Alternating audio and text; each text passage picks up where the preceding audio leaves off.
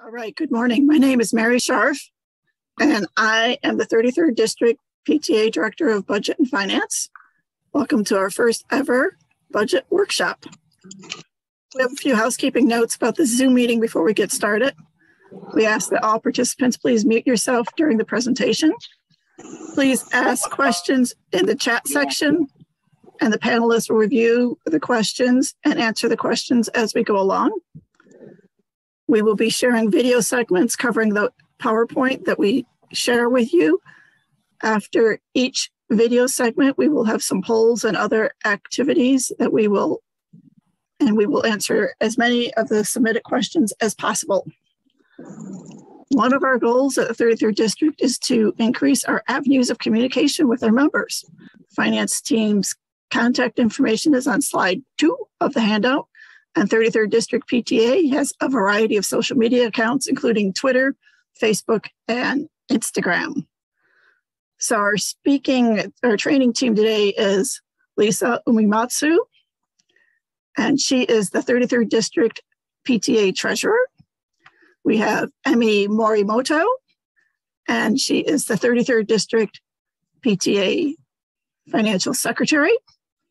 Me, which I've already introduced, um, and Flora Fazard, 33rd District PTA Tax and Government Filing Consultant. So, what is a budget? California State PTA Toolkit says the budget is a financial representation of the goals, activities, and operations of a, PT, a PTA expects to conduct during a specific time period. So now we'll introduce, I mean, we'll start the first video. What is in a budget? And these will be um, slides four through five of your handout. Here are elements that your budget should include the name of your PTA, the time period of the budget. So the budget coincides with the term of office, which is also the association's fiscal year. So for next year, the beginning date would be July 1, 2022, and the ending date would be June 30, 2023. Also include the beginning balance, which is the starting balance at the beginning of the next PTA fiscal year. Whatever the ending balance is on June 30, 2022, will be your starting balance on July 1, 2022. For the income section, this is your projected income. Income from past budgets can be reviewed and you can determine your best estimates for the coming year. Also include a separate line for income not belonging to the unit this includes the portion of your membership dues which is forwarded to your council. This amount varies from council to council, so be sure to check your bylaws. And we'll discuss this in a little bit more detail on the next slide. Include all your anticipated expenses. So, similar to the income section, the expenses are your projected expenses, and past budget expenses can be reviewed to determine your best estimates expenses not belonging to the unit. We'll discuss this in more detail on the next slide as well, but this includes a portion of your membership dues that you forward to your council. The ending balance is what you end up with after adding your beginning balance and all the income, then subtracting all expenses. For the ending balance, there's no set number to leave here, but at the very least, it's recommended that there's enough funds to carry over to the next year to pay for items until your main fundraiser kicks off. These items can include certain bills, organizational expenses like your PTA insurance, or if you have one, a website, and programs such as welcome back events. Um, and in terms of your main fundraiser, if, for example, you're a high school PTA that runs snack bar at football games, you'll need startup money and money to purchase inventory. Also, be sure to include the date that the budget was approved by the board and the association. On this next slide is a sample budget. At the top is the PTA's name, Awesome Elementary PTA. The budget is titled Proposed Budget for 2022 to 2023 because it'll need to be approved by the board and association. So until then, it's called the proposed budget. This first line is titled Carry Forward Balance. As mentioned previously, this is the ending balance of the previous year so if you're working on next year's budget, this is the amount you end up with on June 30, 2022. And since it's not June 30th yet, insert the amount that you anticipate ending up with. In the income section, note that membership dues is listed on two lines. One is noted as membership dues income unit portion only, and the other total membership dues income. Membership dues income unit portion only. This is where to record membership dues received by cash, check, or your own unit website, for example, my PTEZ. It should reflect only the portion kept by your unit. As an example, if your membership dues are $10 and $4 remains with your unit, that $4 is called the unit portion and goes here. And the $6, which is forwarded to your council, is called the non unit portion. So for every $4 recorded here, $6 is recorded into the non-unit income line here. Uh, one quick and easy way to check if you're doing the allocation correctly is that the number of members in the membership dues income line should match the number of members in the non-unit dues section. And using the previous example where dues cost $10, you'll notice that there's $500 here in the membership dues income unit portion line. So if $4 of the $10 remains with your unit, then the $500 here represents $500 divided by $4, which equals 125. So 125 members. So we would expect then that 125 members would also be in the membership non-unit dues line here. So 125 times $6, the amount which is forwarded to your council equals $750. So we would expect to see $750 here. Please remember, though, that the amount that you forward varies from council to council, and this is just an example. Many units also use Totem, which is an online way to join PTA. And when members sign up through Totem, Totem transfers the unit portion to your bank account. And you don't need to worry about the portion of your dues that you should forward to your council because Totem takes care of that. Uh, it's recommended to use different budget line items for different sources of membership income, so it's easy to keep track of. Other items in the income section represent projected income from programs, fundraisers, and donations. Uh, for fundraisers in particular, fundraising income is the gross income from fundraisers. So you'll need to list each fundraiser individually. The expense for conducting each fundraiser should be listed under expenses individually by fundraiser. In this particular example, $7,500 is projected for the fall fundraiser income. And looking at the expense section, it also has a fundraiser line. And here, scrolling down, there's your fall fundraiser expense. And you'll note that there's an anticipated expense of $3,750. So going back up to donations here, um, be sure to have a separate income line to record donations that come in with memberships. The total projected income at the bottom here is all of your anticipated income, which totals $19,530. In the expense section, expenses are broken down into program services, special fundraising expenses, organizational expenses, and expenses not belonging to unit. For program services, uh, this uh, could include items such as spiritware, reflections, and honorary service awards. For fundraising, here's where each fundraiser is listed individually. For non unit uh, or expenses not belonging to unit, similar to the income section, there should be a separate line for non unit expenses. This includes membership non unit dues. This is a portion of dues received by your unit that you pay to your council. Uh, be sure to keep an eye on the non-unit dues in the income section up here and the non-unit dues in the expense section down here, because ultimately these two should be the same. Whatever you take in that needs to be forwarded to your council should equal what you actually forwarded to your council. Uh, Founders Day, all money received for Founders Day should be forwarded to your council as well.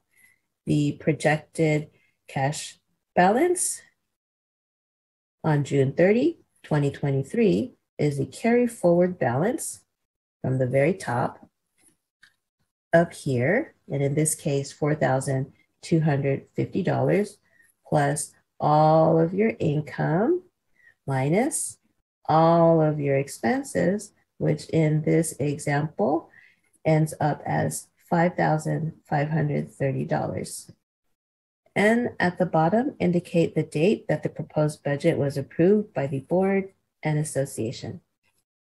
Okay, so um, Flora, are there any questions in the chat that we want to share out loud? Oops, you're muted. Of course I am. Uh, the uh, one in the um, in the chat was regarding the budget module for my PTEZ. Unfortunately, a shortcoming of that module is that whatever you input later is overridden or overlaid. So uh, they say to make keep hard copies or input them somewhere else so that you have um, revised budgets as you go along because you really need those and we'll talk about that later. But unfortunately, the module in my PTEZ uh, only has the most current version in, in on their file. So you have to make a copy of the previous versions. And there's one more that says, I was told in the past that income and expense should be equal. Is this no longer true? That was uh, something that was said some time ago with regard to programs, in that uh, they said programs should not be making money, and that's for fundraising. And so when we budgeted those programs, uh, they said revenue and expense should be equal, and that was true at that time. Uh, I don't think that is true now because we now know, and we didn't know in the past, that, for example, Spiritware is a program. Well, we certainly do expect to um, to earn money in spiritware. And the reason why it's a program is because an inventory is kept all year and sales are all year. So it's our business. It's not a fundraiser. And you'll see in a lot of uh, government um, papers, they interchange the word special events and fundraising. They term fundraising as special events. So a Spiritware t-shirt is a program, a Carnival t-shirt is a, a fundraiser. Okay, and then there is a question that's actually going to be on uh, our upcoming poll. So we'll hold off on uh, answering that one, David. Um, are there any other questions regarding what uh, elements belong on a budget? I have a, a quick question. Interactive, sure, go ahead. Um, it, this yearbook, um, is, is that the same thing as Spiritware, where yearbook is a program and not a fundraiser? Um, it's a sale, and so, but it is once a year. Um, so that would be more of a fundraiser. When you're uh, in the tax world, uh, those kinds of things would be sales and cost of goods sold, but we don't have that. So I would say a yearbook is kind of a, a fundraiser because you don't sell it all year. It's a special event. You sell it once a year and you don't keep an inventory all year. Okay, not, thank you. Not ordinarily. I think it's one of those calls where just make the call that you feel comfortable with. It's not, you know, um, in stone. And Flora, correct me if I'm wrong, if the intent of, say, a yearbook is to actually um, earn a profit, like you sell it for more than what you what your cost is, then would that also tip it toward being the the fundraiser side? yeah, that would be the fundraiser side, and that's the odd thing about it because we're trying to fit in either a fundraiser or a program into uh, you know to those two categories but there is a third category on the tax uh, return and that's like i said sales and cost of goods sold where a lot of that would go into. But you know that's too complicated. We don't want to you know mess with that. So you know we make a decision between either a fundraiser or a program. And when i look at the fundraiser the 501c3 fundraiser guidelines what they do say is you keep an inventory all year, it's your business. In other words, a program is your business. And our business is selling spiritware for a lot of units, may not be in all units, but most units, their business is selling spiritware. And so that would make it a program. But a special event, you know, something that happens once a year, you don't keep inventory, that's what they would call a fundraiser. Like I said, they use those terms interchangeably. Okay, now Grace asks if there's a limited amount of fundraisers allowed. And um, I'm probably going to be blabbing about that in the last video training. So we'll just uh, hold that thought and then let us know if you have questions about it afterwards. And then Jillian's asking about um, teacher appreciation, whether that's supposed to be considered a program or not. I, I've seen it both ways, either as a program or hospitality. Um, we separate these as best we can. The most important thing is to be consistent. Don't put teacher appreciation one, uh, the fall one in hospitality and the spring one in, you know, programs. So consistency is important but uh, we try to apply the criteria. I would, and I, have done in the past, where if there's a new line item that you're creating or all of the old line items, I would um, uh, prepare a document assigning that program to say, okay, these are the criteria, I'm putting it here, and then refer to that every time you input data so you don't deviate from that criteria. And it makes it easier when you're inputting your expenses and your revenue. Say, okay, it goes here. Alrighty. So what I'm going to do now is I'm going to share a what's wrong with this budget thing on the screen. And if you see things that look out of whack to you, whatever, um, throw your um, observations into the chat. And um, so this will be up for several minutes. Um, in the meantime, if you still have other questions, then um, go ahead and raise your virtual hand and then we'll, we'll uh, call on you. Okay, so there's that.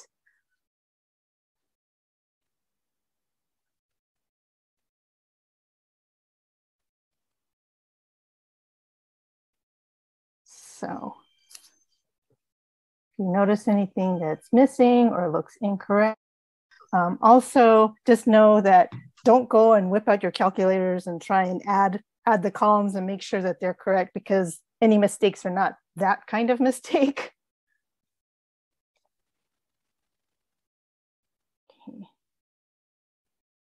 Ah, very good. Oh, good, good. So no approvals by executive board and association. Now one could argue, well, maybe it's before they presented it to the EB or the association, but there is not even a space for someone to put those appropriate dates. No year, very good. We have no idea when this budget is from. Um, it doesn't say proposed budget. Well, that was just me being kind of Weasley because I didn't wanted to it's kind of vague, but uh, yes, that's true. If uh, we don't know. Okay, now, oopsie, people are throwing more stuff in. Okay, someone caught our our dues thing here. Yes, you'll see that here we have um, uh, membership at 10, uh, 100 at $10 dues. And then in the organizational expense, there's um, the membership expense to council, but really it should be here, it should be uh, $4 is what the, this unit is keeping. So it'd be 100 times $4. And the remaining $6 would be down on the bottom in a um, income not belonging to unit line. And then this one also does not belong in the organizational expense section, but down below at uh, expense not belonging to unit line. And let's see. Ooh, good. Grace says that the fall fundraiser income shouldn't show as net income, correct? That we want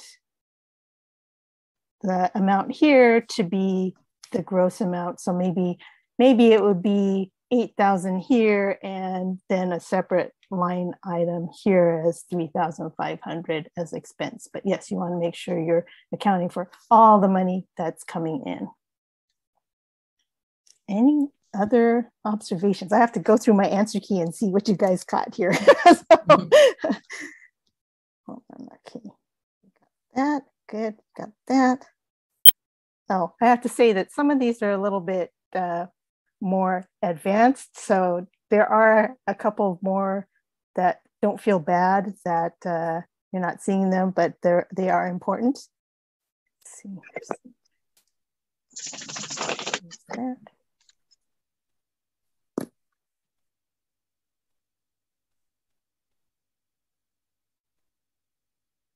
There we are, and Bill caught that same uh, kind of thing that's applicable to fundraisers, that the totem donations, you don't net the fees out in the income side, but that should belong somewhere on the expense side. So that's good. You guys are catching most of these, so good for you. Um,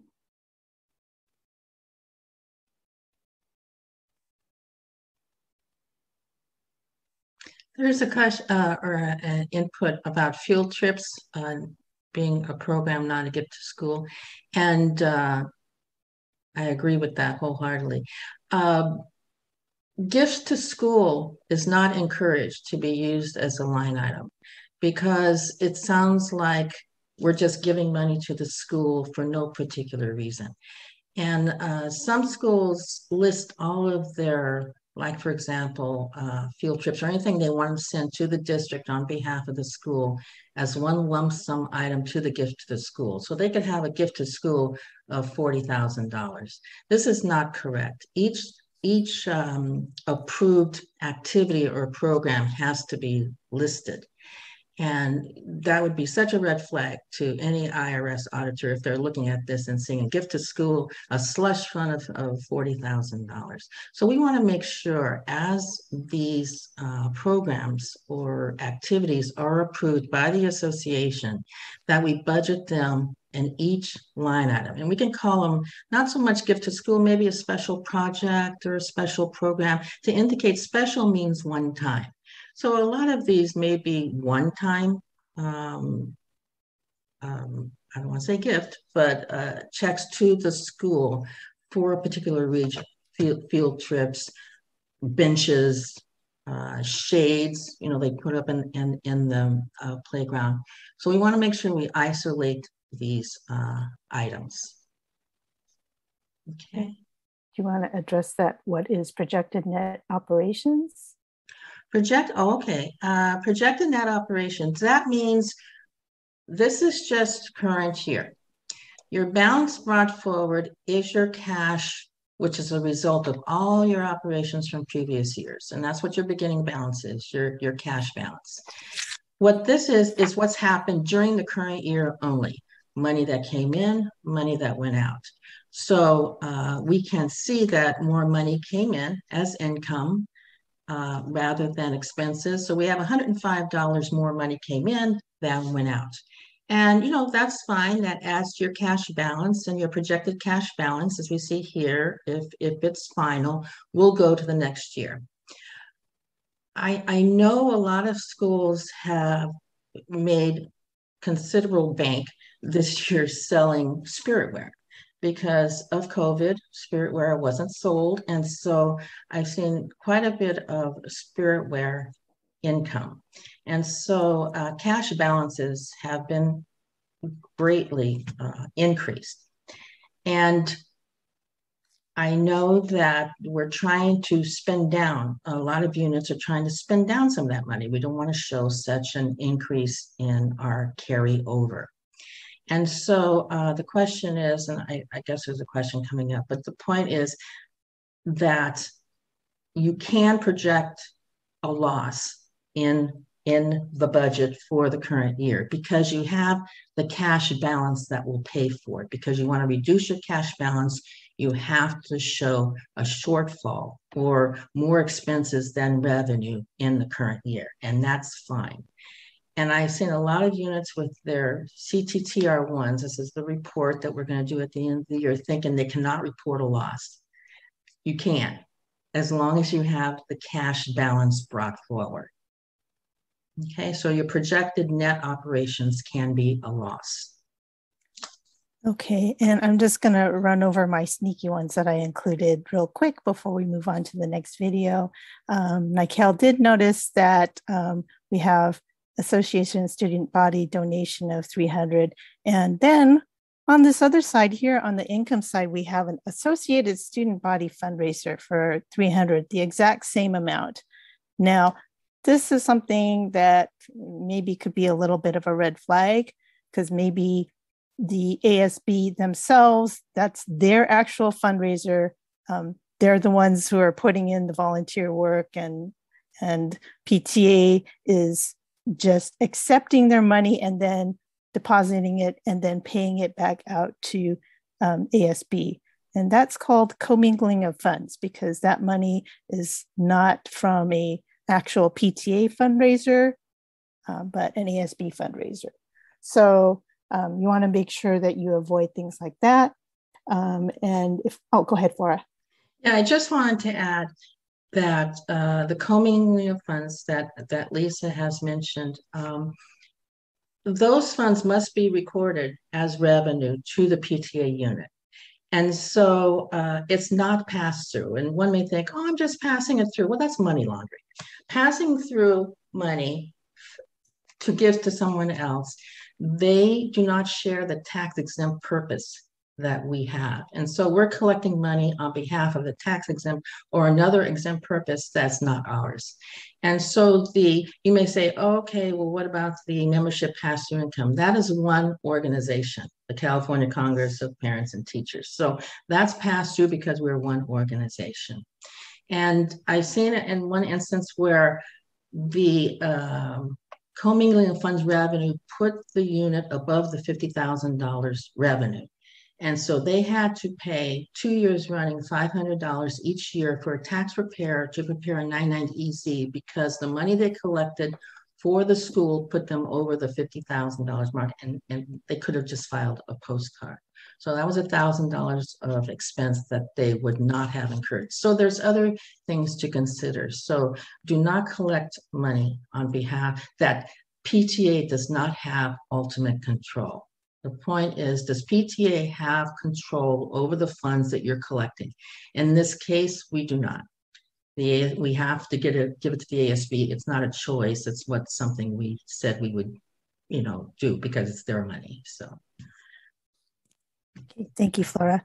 Um, and then one last thing I wanted to point out that teacher appreciation, um, we have a, a, pretty large amount here. Um, $2,500 when considering that our total expenses is less than $9,000. I'll talk about this a little bit more in the future, in uh, toward the end, um, but just uh, I wanted to include it on this exercise because uh, it works out well. And I'm going to stop sharing that. And I think Mary, you can introduce the next clip. Yes, the next clip is developing the budget and um, that'll be slide six in your handout. Thank you.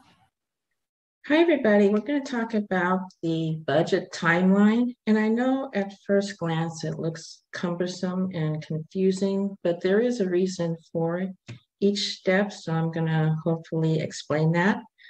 Uh, just uh, for historical purposes, um, the reason why we have this process is to accommodate summer payments. And what I mean is that sometimes uh, units need to pay things in July and August. And in the past, they could not do that because the budget was not approved in the new year by the association.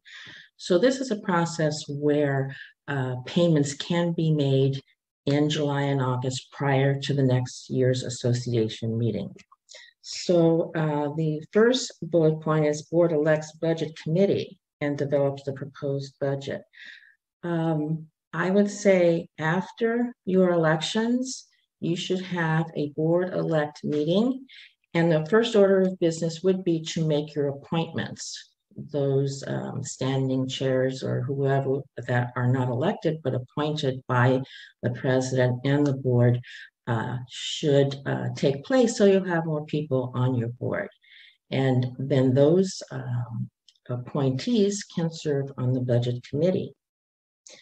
Uh, then the second point of business, business would be to select the budget committee. The president selects the members of the budget committee and the treasurer elect uh, chairs that committee. Um, they come up with a budget and then they will present it to the board elect. And so uh, the board elect would take a look And we need to consider, and the budget committee needs to consider the carryover um, balance also, not just the budget line items, but your carryover cash to make sure that you have enough money to start the new year. It's like startup cash, okay? So then the um, board elect may approve the uh, budget or revise it. And then uh, it says to propose the um, budget to the current board for approval. And the reason why we do that is because the board elect is not in charge yet.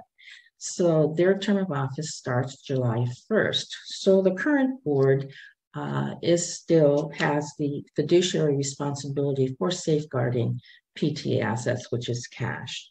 So um, uh, as far as presenting it, it could be uh, anyone uh, that can answer, preferably answer questions about the budget. So ordinarily, probably the president-elect and treasurer-elect would make that presentation to the current board. And uh, the reason why we involve the current board also is because they know what's going on, and maybe the board elect may not be aware of uh, everything that is happening.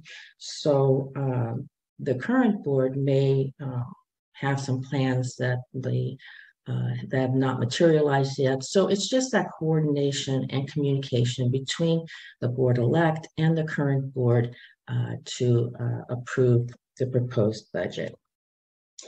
Uh, then the uh, proposed budget that has been approved by the board elect and the current board is presented to the uh, association at the last meeting of the association for that year.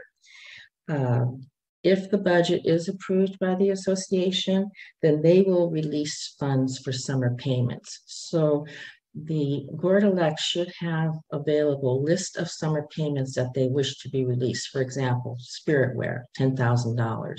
Teacher welcome back lunch, $600. So it would be anything that they feel needs to be paid prior to the first association meeting of the new year.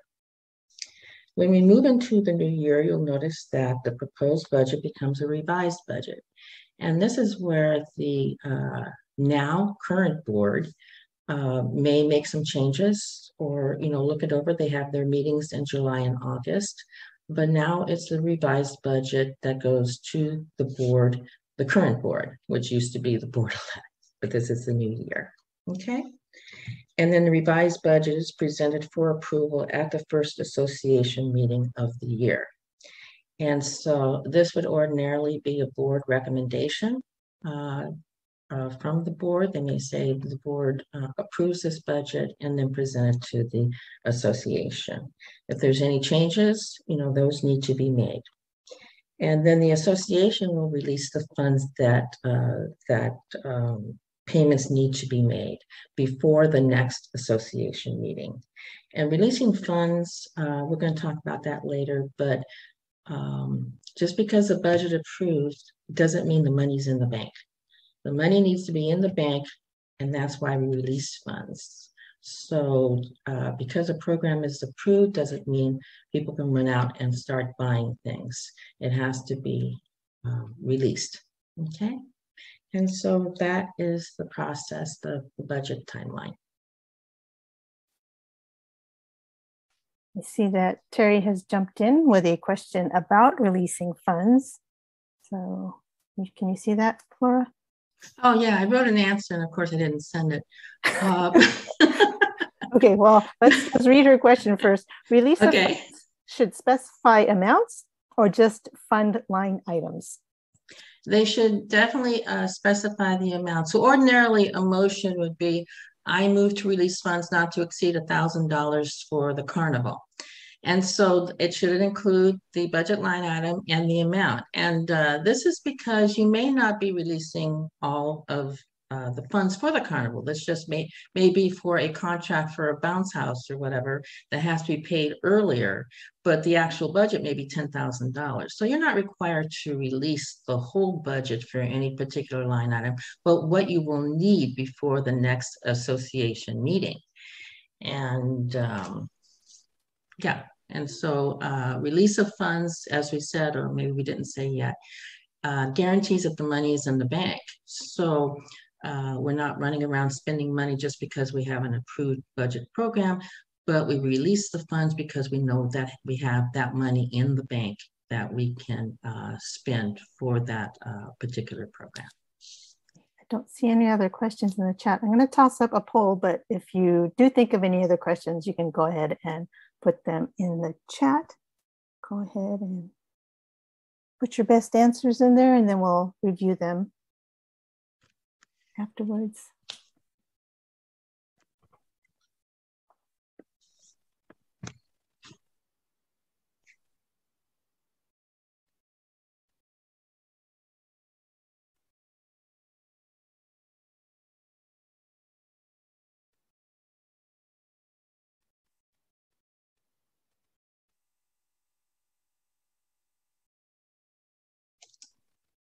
Maybe about 15 more seconds. So we have a majority of people have answered already.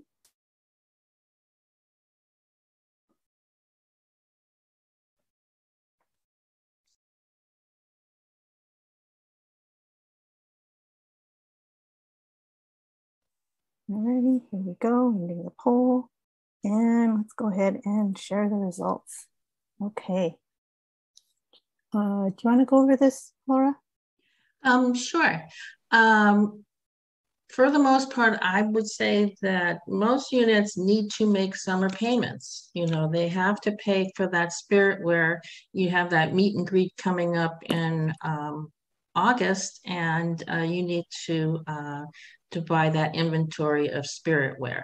So it should be as soon as possible after the election of the new board so that you have time. You take your last association meeting date, you back into your uh, board meeting for that date, and then arrange a couple of uh, budget committee and board elect meetings. So you have to back into that last association meeting date in order to release funds. I want to say to be sure to keep minutes of your budget committee meetings and uh, your board elect meetings. That's important to know. Uh, just as any other board meeting or um, association meeting, you want to keep minutes in order to uh, officialize what's been, discussed and uh, for your own protection as the board members. Um, only elected board members may serve on the budget committee. Uh, no, that's false. Uh, we're saying uh, what we need to do at our at our first board elect meeting is to make appointments. And these are board members who are not elected but rather appointed by the president and approved by the board. This can be your parliamentarian your corresponding secretary. And in some cases it's the uh, for example spiritwear chairperson. That may not be an elected position. That may be a chairperson a standing committee hospitality uh, could be an appointment. It's not an elected uh, position. So your elected positions are specified in your bylaws, but also appointed uh, positions for standing committees and, and, that sort of thing. So you want everybody as much as possible on the board because they're all board members, whether they're elected or appointed. So you want that expertise available to you when you're preparing your budget uh, to have as many uh, people as possible to choose from that have uh, you know, uh, information that would be valuable to the budget process. So elected and appointed members of the board may participate in the budget committee. And I'm just going to jump in and add a little bit more to that first question about when is the best time to start working on the budget. Uh, we kind of threw that question in there because I'm sure that new officers, they're always getting pounded into their heads that, okay, you guys start on July 1st right? July 1st is mm-hmm. the start of your term, um, which, well, that's true. Um, the, the elected board doesn't get to, um, say, start spending money, have control of the checkbook, whatever, until um, after their term starts. However, uh, it's best to prepare before then so that you can really be ready to hit the ground running uh, when once July 1st arrives and you know definitely um, you know definitely before before the beginning of the school year but even again during the summer if there is stuff that needs to be paid over the course of the summer uh, And I think we can move on to the next uh, video. The next video will be monitoring the budget and spending, and that will be your slides seven through nine. Okay, on this slide, as you can see, this is the nice flow chart that we love because it's a graphic illustration of whether we can write the check. But as you can see, the very first um, box is, is this expense in the approved budget?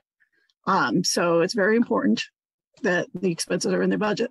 And if it is, then boom, you go over to the right and follow down to see whether you can write the check. Get, you can make sure all the authorizations and signatures are in place.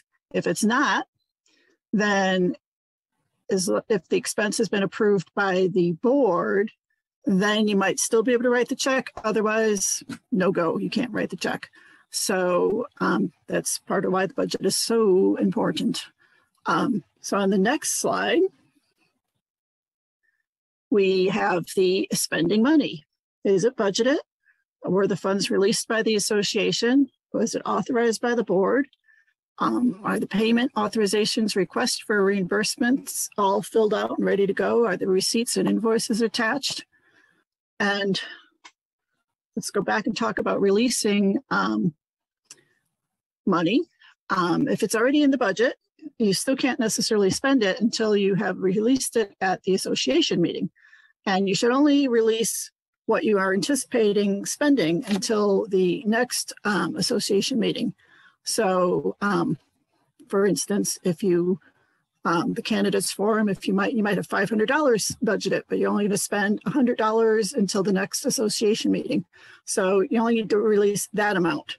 Um, most of these other amounts um, like the student planners usually pay that all at once. So you, you kind of try to think ahead and figure out what expenses are coming up between now and the next association meeting and just release what you need to get through that. Now, sometimes you might be having a fundraiser. I remember we once had a eighth grade fundraiser that we didn't actually have the fundraiser yet, so we didn't know how much money we had. So then we said something like, I re we release the funds for eighth grade promotion up to the amount earned by the fundraiser. So, I mean, sometimes you have to do some interesting releases like that, but um, otherwise it's pretty straightforward.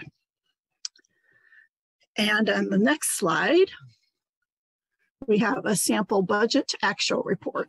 This is an important report that should be run at least every quarter um, so that your board and association can see what's going on with budget versus actual. Um, I like to run it monthly because it's usually a it is a canned report from um, PTEZ and many other accounting programs. Probably it's a it's a standard report, so it's pretty easy to run every month and just make sure that you're still within budget, um, and make sure that um, like your membership dues income and what you've forwarded on to the next level is the same amount. And if it's not, then you owe a check to somebody. Um, so that's um, a way to tell how much you owe. Um, it's also at the end of the year a great report because it's actually an option for the annual financial report. And it can also be, it's very helpful to be used um, to help prepare your taxes, especially the CTTR-1. And it's um, great help for during the audits too to get a snapshot at various things. And um, it's also good for the irs guidelines uh, for 501c3s like to see a report that shows where the entity has spent the money and that they can operate within their budgets and, and spend their money according to their taxes on purpose. So this is a great report for that and budgets can be amended with the approval of the association. It has to be a two thirds vote. And it's uh, if you see that you've budgeted $500 for something and it's already September and you've spent 400, but you know you need to spend at least two or $300 more, it's not a problem. You can update the budget, um, go through everything, make sure you're still within line and uh, increase or decrease where you need to and present it to the association. And as long as they approve it with two thirds vote, you're good to go. And there's also, you can refer to the toolkit at capta.org, finance budgeting, amending the budget for more information. Okay, I don't see any questions in the chat. Um, we do have a, a, little bit of time. So, oh, look, I spoke too soon. There's Terry with a question. Should you revise your approved budget uh, mid-year or quarterly? Does this revision need to be approved by just executive board or association? Go ahead. So um, the budget is a plan. It's not a, a transaction. So like every plan, things change and they have to be revised. Um, your revisions can be quarterly, uh, but it should be when they're needed. So someone, uh, the treasurer, may be looking at that budget to actual monthly, and there may need to be a change that's not necessarily quarterly or whatever. So it should be revised uh, whenever known and, and it needs to be done. And it will be brought up initially, the revision to the budget, to the plan, to the executive board for approval, or rather for a recommendation. The board never approves anything. They make board recommendations. And so the board will uh, make a board recommendation to the association, and it's up to the association to approve, like Mary said, the uh, revisions with a two-thirds vote. But if you're not changing your budget pretty regularly, uh, something is wrong because uh, we cannot predict you know, a perfect plan for the year. So the board is doing a good job exercising their fiduciary responsibility by reviewing and uh, updating the budget uh, as it needs to be. Okay, so seeing as there are no other questions in the chat, um, um, Mary did go briefly beyond sort of the scope of the budget and into the, the process of approving um, spending transactions in general. So um, we have a couple minutes if anyone had any questions about that. Now would be an okay time to throw that in. Um, in the meantime, I'm just going to go ahead and uh, toss up the next poll. And if you guys think of anything along these lines, that would be fine. Sure yeah, just... I just wanted to mention also in the meantime, while you're putting up the polls, yes. this, the uh, can we write this check um, um, little chart there. That also includes can we authorize a payment through EFT? We're not going to go through that process of EFT payments, but just know that when it comes up, that all of the um, policies and procedures that apply to check requests also apply to electronic funds transfers. Okay, so the poll is up. We'll leave that up there for a little bit. But yes, it is important to be monitoring the budget throughout the year. And that's going to pretty much fall on financial officers since they're the ones seeing all the transactions and you have access to the budget um, documents.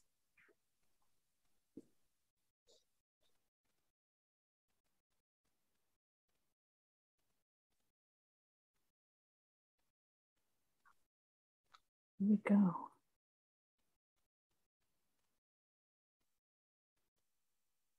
Okay, Susan says, should all the money be budgeted somewhere or is it okay to put some in an unbudgeted line item? If so, how much can that be? Um, that is whatever your association approves, but no, you don't have to budget all of the money that you have. Uh, in fact, it's wise not to because you should have, uh, I think you're referring to a reserve or some unallocated funds. You should have uh, money in there in case something comes up and you may want to allocate funds later in the year for something that the association approves. So you should have an unallocated amount. What that is, um, I mean, it shouldn't be, you know, outrageous, but it should be reasonable, you know, that that you're not trying to accumulate funds, you know, and not spending on uh, student programs and whatnot. So it should be reasonable, but yes, you should have a reserve. Okay, and I'm going to go ahead and end the poll now because it seems like most people have responded and let's share the results. Okay. Can you see that, Laura? Uh, yeah. Oh, got a little mixture here. That's nice. Uh, once the budget is approved by the association, a chairperson uh, may make purchases for their approved program. And remember, we talked about release of funds.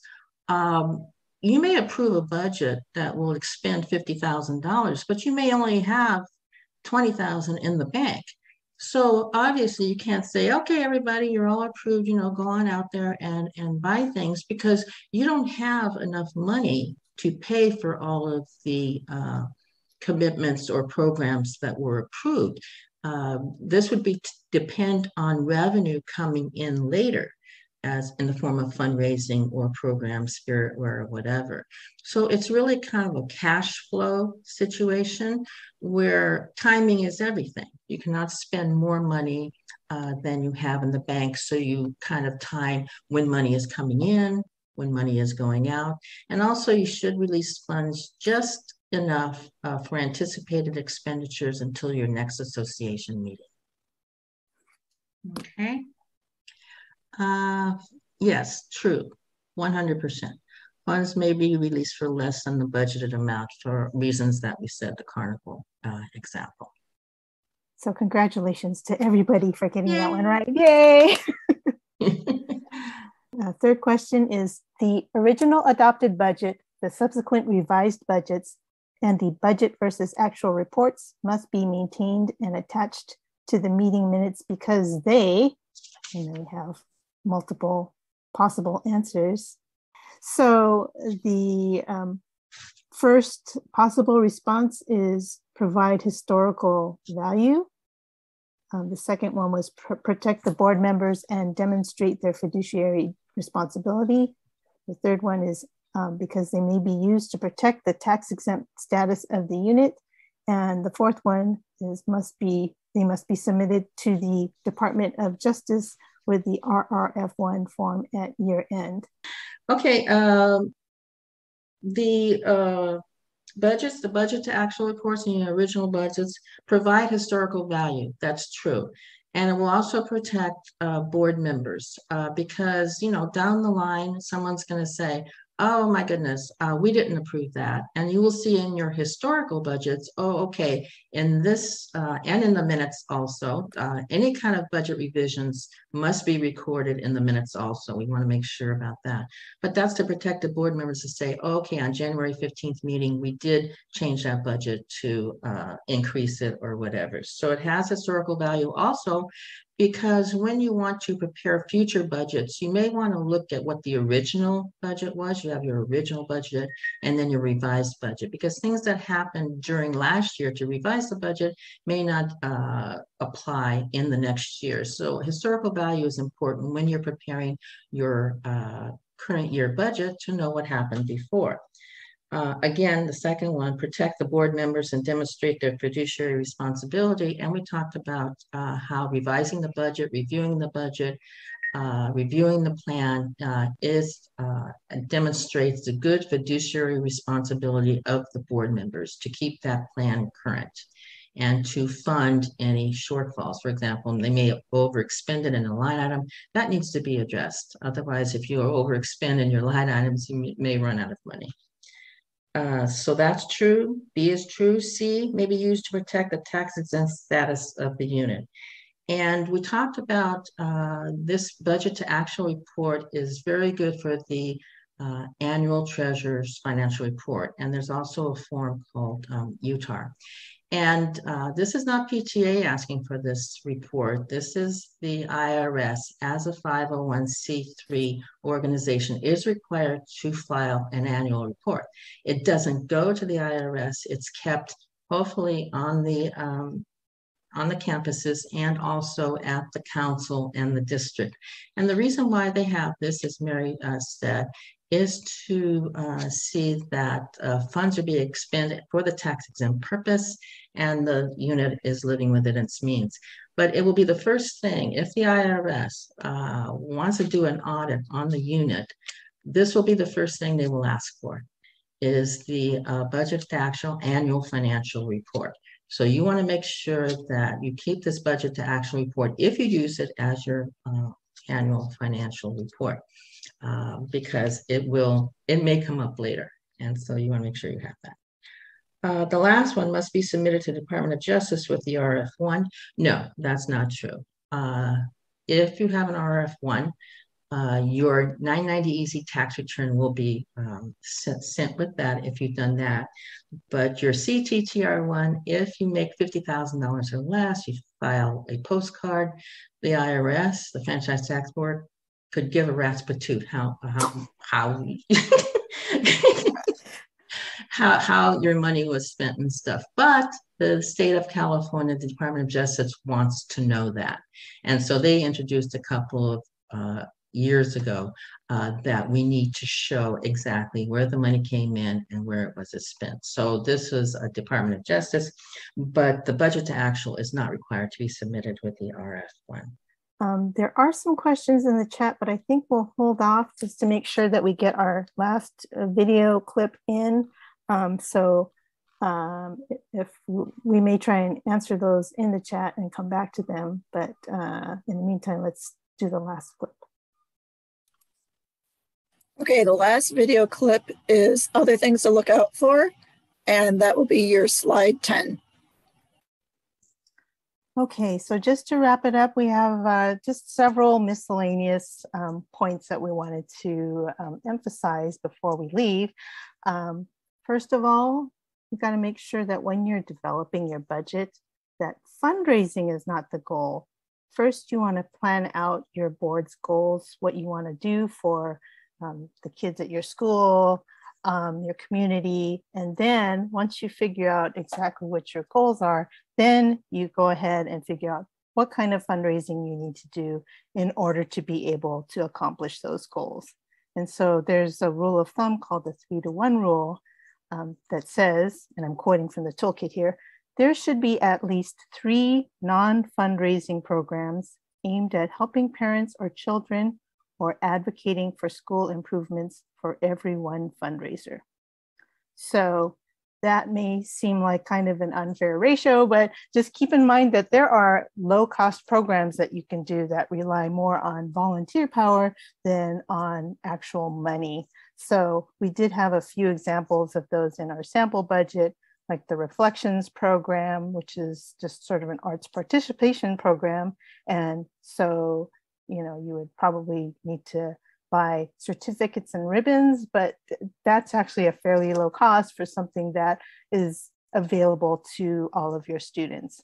So if you think about programs like that, that can actually um, be beneficial to the school but don't cost a lot, that's great.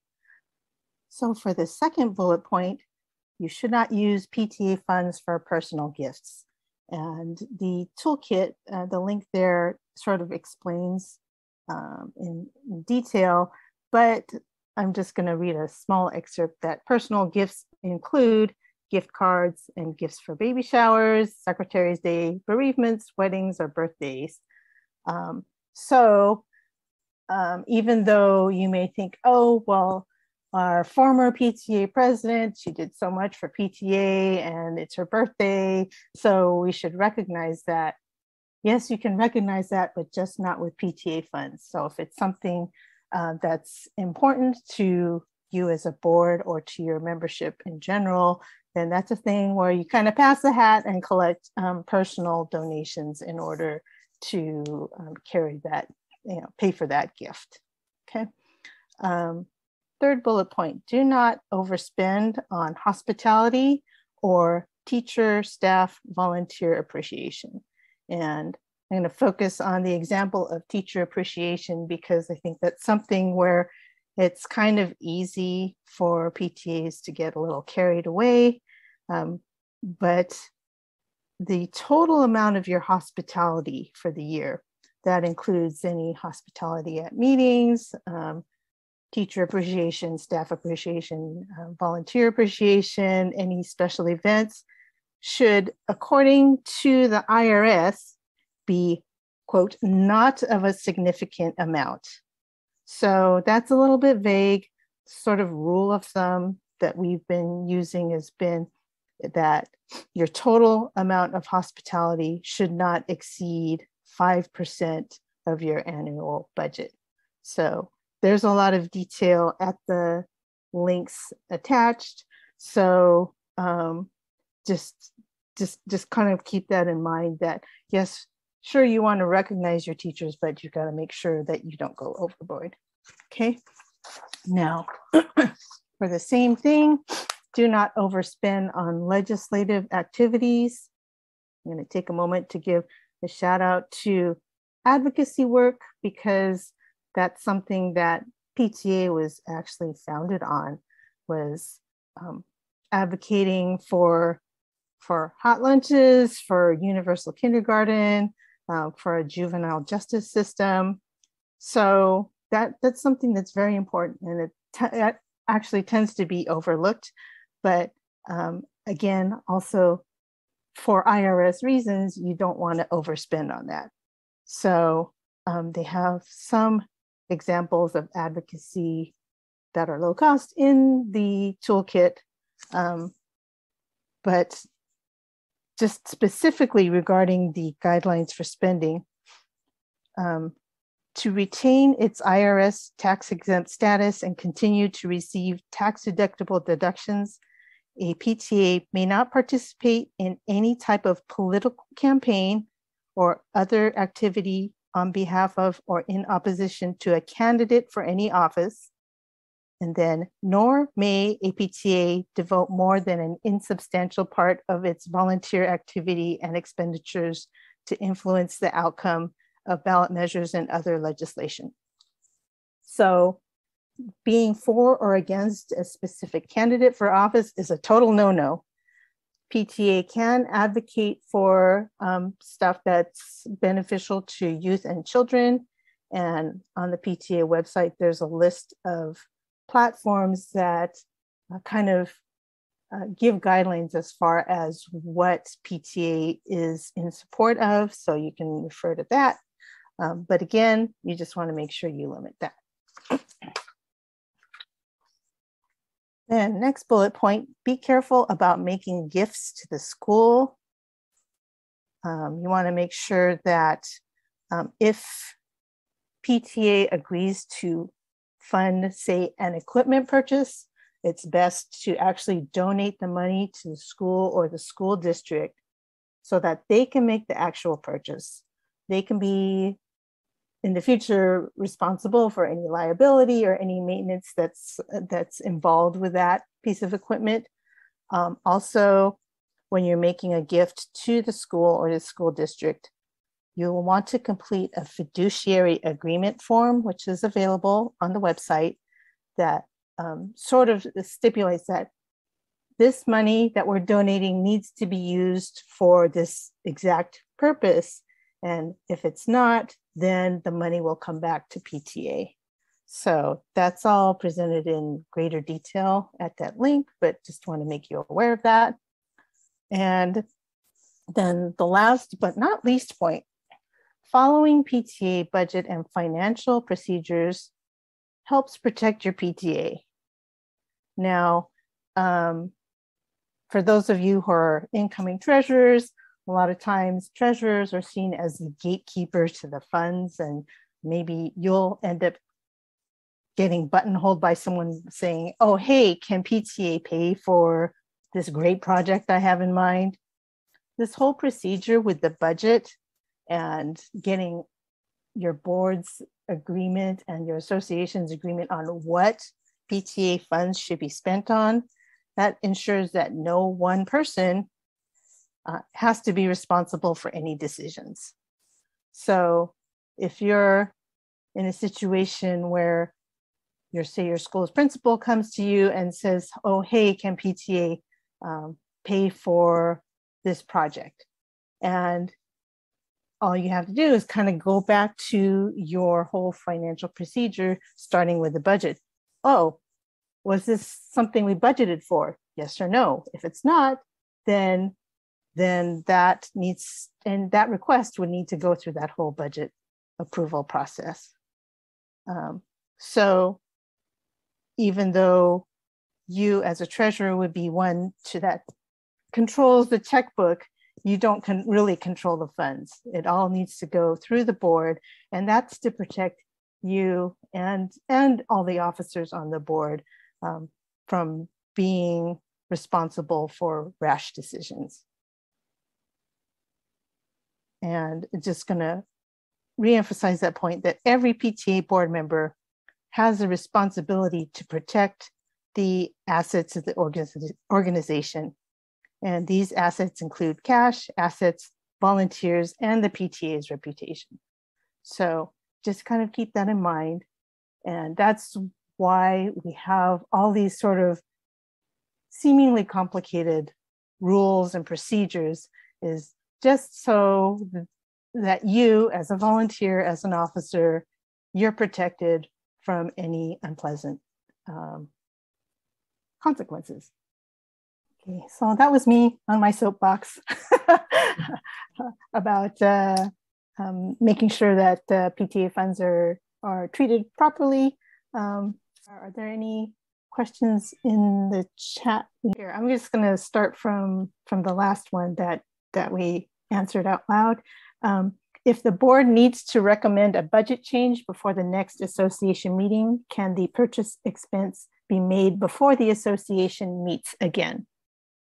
Yes, the board has the ability to budget uh, and uh, to expend funds between association meetings, and that is in your bylaws. And there is a certain the amount is based upon the number of association meetings that you have during the year. So the amount increases if you have less association meetings because there's a longer time in between those meetings. So for example, in your bylaws, you have your association meetings and it will say, okay, $500 the uh, board may budget and expand between association meetings if you have association meetings every month. It increases to $750 if you have, and I'm just on top of my head, maybe five, six meetings a year. If you only have maybe three or less meetings a year, then they're authorized to budget and expend $1,000 um, between association meetings. But of course, at the next association meeting, those uh, budget and expended items have to be approved. So the board has some leeway for maybe emergency expenses or something that's not been anticipated uh, that they can take care of in between association meetings. Okay, okay. what's the next one? The next one is the release of funds should be done at association meetings, not board meetings. I will. Yes, that's correct.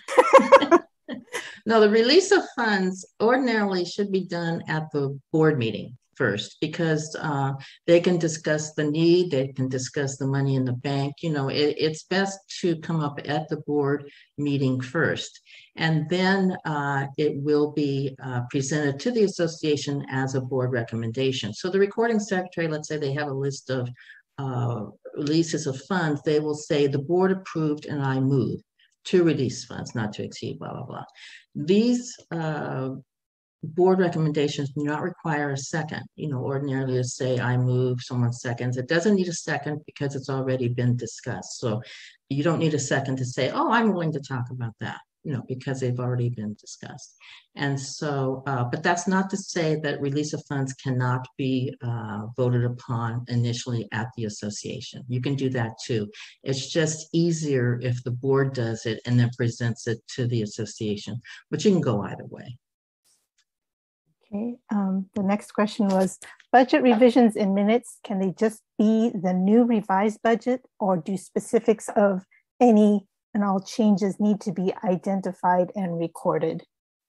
I think this should be um, treated similarly to the treasury reports. You know how you have your treasury reports every month, and you should include in the minutes the beginning cash balance, total disbursements, total receipts, ending cash balance. And then you attach your treasury reports to the minutes.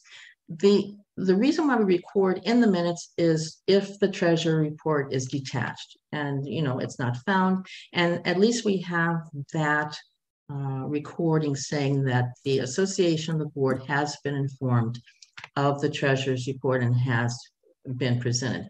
So I would say similarly to uh, budget revisions, I would say in your minutes, record the line item, the original amount, any increase or decrease, and the ending amount.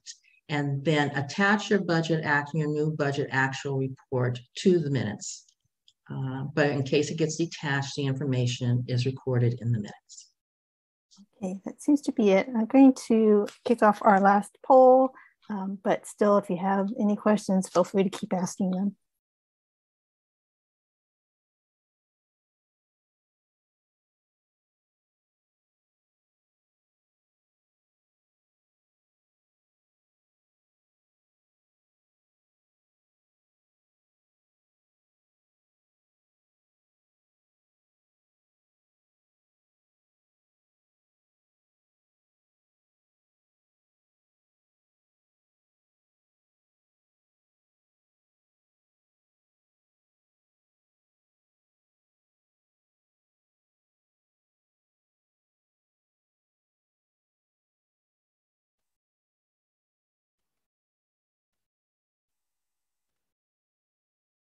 Just want to point out that question number two, you can uh, give multiple answers.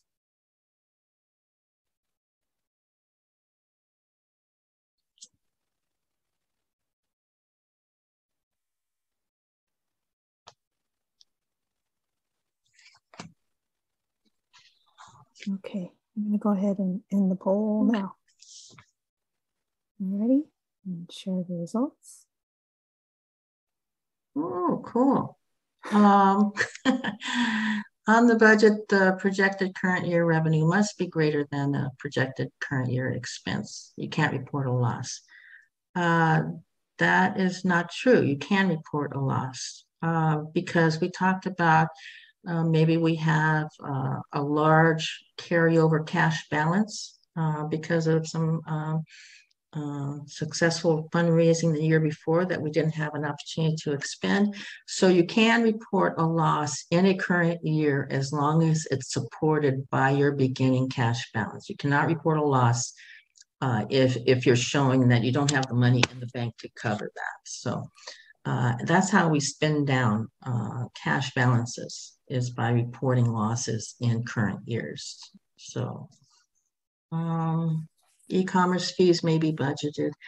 Uh, this is a decision that can be can be um, presented and approved by the uh, a recommendation by the board and the association because it really depends. The only thing it is not is um, uh, is that it's included in net revenue. No, you cannot include any kind of fee in uh, a revenue line item and call it net proceeds, net revenue, or whatever. A fee is an operating expense and has to be reported as, as an expense. Um, the choice here is organizational expense, yes, or it could be a fundraising or program expense. So it depends on how your unit is set up.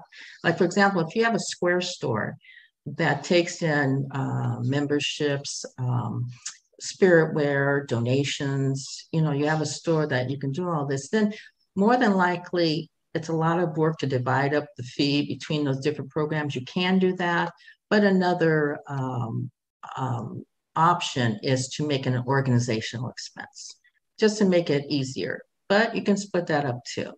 It can be a fundraising expense and a program expense because uh, it may be unique to a fundraiser or program. For example, Spiritwear is a program and all you sell is Spiritwear on uh, PayPal or a Square account or whatever, then that could be an operating expense to the Spiritwear program as opposed to an organizational expense. So uh, that's really a choice uh, that can be made by uh, the board and the association. But it can be an organizational expense, a fundraising expense, or a program expense. All righty, thank you. So are there any more questions? We still have a little time. Okay. If not, why don't you go ahead and wrap this up, Mary? All right. Well, thank you for joining us, and we hope that you have learned some valuable information. For more information about PTA finances, you can visit our website, 33rdpta.org, and the California State PTA website, capta.org. People refer to that as CAPTA. if, if you have additional questions or ideas for topics that you would like to like us to provide training on, please email PTA training at 33rdpta.org. And um, again, thank you for coming.